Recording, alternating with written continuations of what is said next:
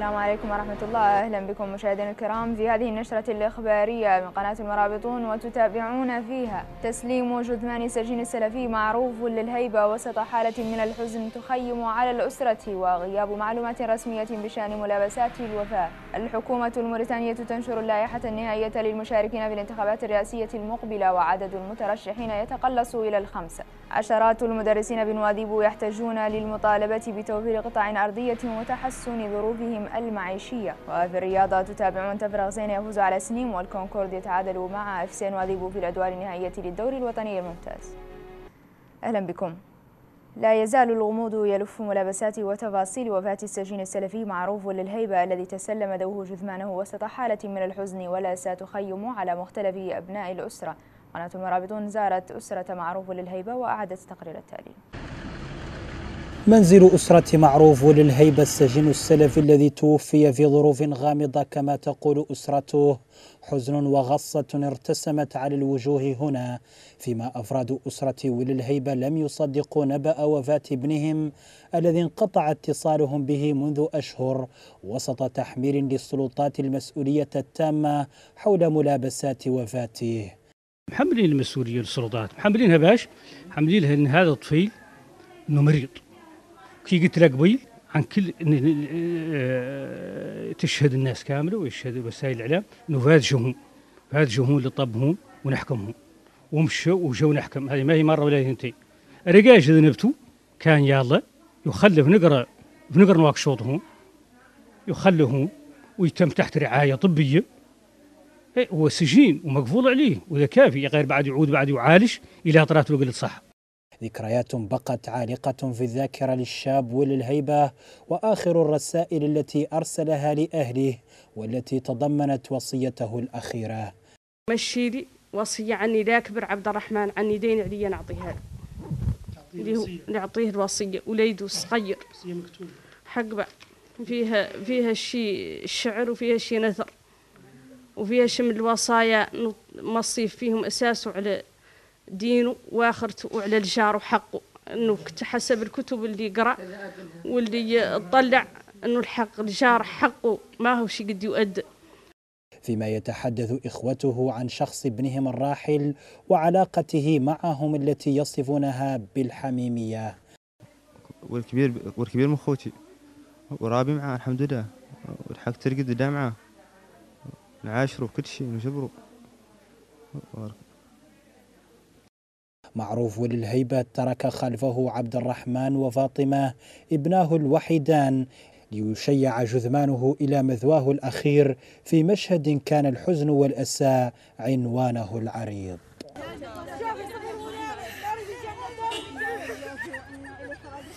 نشرت الحكومة الموريتانية اللائحة النهائية للمترشحين للانتخابات الرئاسية المقرر إجراؤها في الحادي والعشرين من شهر يونيو المقبل وذلك طبقا لأحكام المادة الأولى من القانون 027 91 الصادر بتاريخ المتضمن القانون النظام المتعلق بانتخاب رئيس الجمهورية. ووفقا للائحة النهائية فإن ترتيب المترشحين على النحو التالي. المترشح الأول الرئيس الموريتاني محمد عبد العزيز يليه بيت جلول هميد رئيس حزب الوئام الديمقراطي الاجتماعي ثم لالا مريم متمولاي إدريس المرأة الوحيدة المشاركة بالانتخابات. ورئيس حركة إيرا بيراما والعبيدي وأخيرا رئيس حزب التحالف من أجل العدالة إبراهيم مختار صار. نظمت اللجنة الوطنية لحقوق الإنسان بمقرها في نواكشوط مؤتمرا صحفيا قدمت خلاله عرضا عن تقريرها السنوي حول حقوق الإنسان في موريتانيا. التقرير تناول مجمل التدخلات التي قامت بها اللجنة الوطنية لحقوق الإنسان في إطار مهامها من خلال تقديم المشورة والمناصرة وتقديم التوصيات اللازمة بغية تعزيز وترقية حقوق الإنسان بالبلد في مختلف المجالات. وطالبت رئيسة اللجنة الوطنية لحقوق الإنسان ربيها مت عبد الودود المواطنين بالاطلاع على هذا التقرير الذي قالت إنه يقدم رؤية اللجنة حول واقع حقوق الإنسان في موريتانيا خلال السنة خلال السنة الماضية. قال رئيس حزب التجمع الوطني للإصلاح والتنمية تواصل محمد جميل المنصور إن حزبه لا يدافع عن قضاياه بوحدها ولا عن قضايا جهة بعينها وإنما يتبنى جميع قضايا المجتمع ويدافع عنها. مضيفا أن ذلك يشكل أحد المبادئ الرئيسية لحزبه. جاءت تصريحاته المنصور خلال حفل نظمه حزبه بنواكشوط بمناسبة إطلاق سراح رئيس المنظمة الشبابية لحزب تواصل محمد فاضل وللمختار لا يقول لكم حد عنا مع مدة ضد مدة والله مع قضية ضد قضية والله ندور ونثير رواية من أجل إثارتها ضد نظام ابدا إحنا اختاروا لا السكينة والهدوء وشي مطابق له الموريتاني ووحدتهم كاملين يا غير كاملين. ما يثقل علينا إلى طالبنا بحقوق مجموعة من لون معين والله من عرق معين والله من صفه معينة والله من نوع معين لأن حقوقها الموريتاني كاملين لأنهم مسلمين كاملين. يا الله نطرحوها وندافعوا عنها. إياك وحدته الموريتاني وأخوته الموريتاني تنحفظ. وذيك الدعايات للأسف الأنظمة تعدل الدعايات بهذه المجموعة ضد ذي المجموعة وهذا العرق ضد العرق وذي الفئة ضد ذي الفئة. أها. نحن ظاهرنا عنها الموريتاني كاملين. يا الله يدافع عن حقوقهم. أطلقت شبكة الصحفيات الموريتانيات دورة تكوينية لصالح 40 صحفية موريتانية تحت عنوان الإعلام في ظل الحرية أي مستقبل للصحافة. وستتناول الدورة التي تأتي بالتعاون مع المركز الثقافي المصري وبرعاية من وزارة الاتصال والعلاقات مع البرلمان الأجناس الصحفية وطريقة إعداد البرامج الحوارية وغيرها. وها نحن اليوم نشرف على انطلاقة تكويننا الخامس ضمن سلسلة تكوينات أقمناها شراكة مع المركز الثقافي العربي المصري. واكبنا من خلالها الصحفيات وهن في بداية انطلاقتهن مع تحرير الفضاء السمعي البصري الذي انتهجته بلادنا سبيلا إلى تعزيز حرية الصحفيين وفتح المجال أمام المنافسة الشريفة والتعاطي الراقي مع الخبر.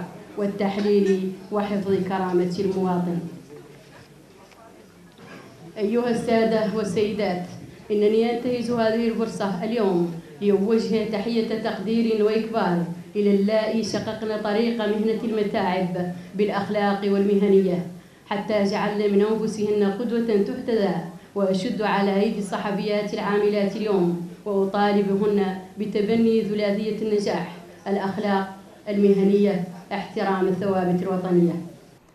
نظم عشرات المدرسين بمدينة نواذيب وقفة احتجاجية رفعوا خلالها شعارات منددة بما وصفوها الأوضاع المزرية التي يعانيها المدرسون بنواذيب وطالب المحتجون السلطات الموريتانية بضرورة توفير قطع أرضية وعلاوة البعد كما أكدوا على ضرورة تحسين ظروفهم المعيشية. حصولنا ومنحنا واستفادتنا من القطع الأرضية ومن أجل كذلك استفادتنا ومنحنا علاوة البعد اللي هي حق مشروع هي مبرر عن جميع الولايات تستفيد وتبقى مدينة نواريبو وأنتم تعرفوا ظروف مدينة نواريبو السيد حد قادر يحصل على الشهر أنه ينفعه قاع هو معيشته. أم وشح قالها كربيها والأمور الأخرى. مناعا حقيقة قضية اللي قال له البعد وقضية منح القطع الأرضية. هي قضايا مطلبية مشروعة قضايا مطلبية موضوعية قضايا مطلبية. يلا المدرس في نواريبو ونقول المدرس مدرس ايا كان المدرس مناعا اساسي عن جعل هذا المطلب هو مطلب المدرسون في نواريبو قال الأمين العام لنقابة مسيري دكاكين أمل قيد التأسيس المصطفى والمحمد الأمين أن المسيرين يطالبون بجملة من المطالب يرونها ضرورية من أجل تحقيق نجاح أكبر لبرنامج أمل.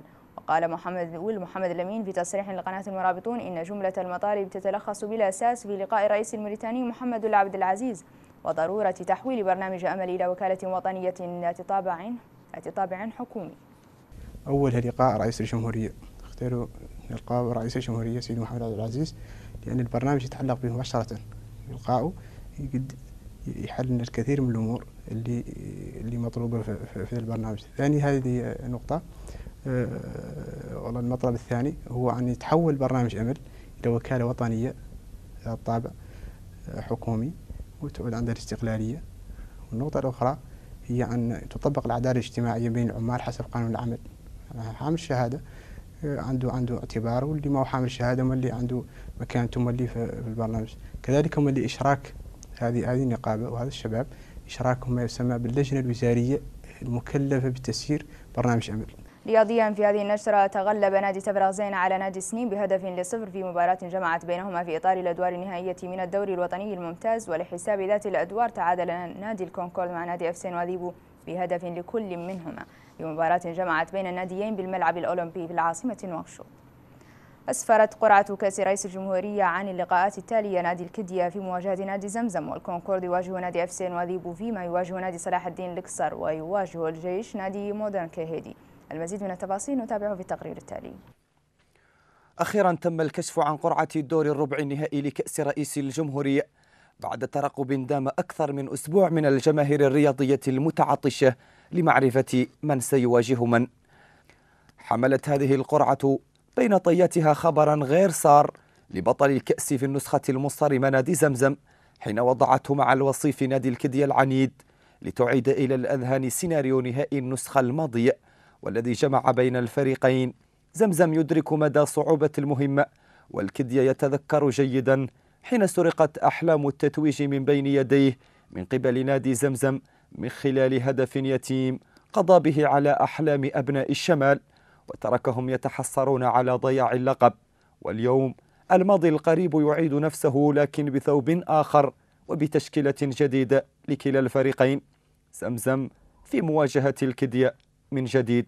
مباراة أخرى أو نهائي آخر سبق لأوانه الكونكورد وأفسين وذبو في مواجهة بعضهم البعض مباراة يترقبها الوسط الرياضي على أحر من الجمر.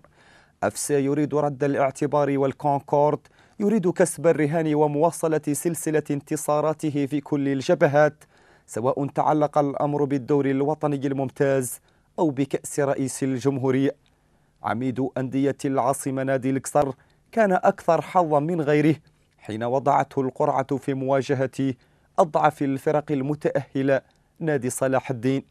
أما المواجهة الأخيرة فكانت رحيمة بالجيش الوطني المتعثر في الدوري والمتراجع في الآونة الأخيرة حين وضعته في مواجهة مودرن كيهيدي. ولو أن الأخير أزاح منذ أيام عن طريقه نادي تفرغ زين الذي كان من بين الفرق المؤهلة لنيل البطولة. أربعة مواجهات إذن بعضها قوي وبعضها الآخر مصروف عن ظاهره شكلا وفي مضمونه باب المفاجأة مفتوح على مصراعيه.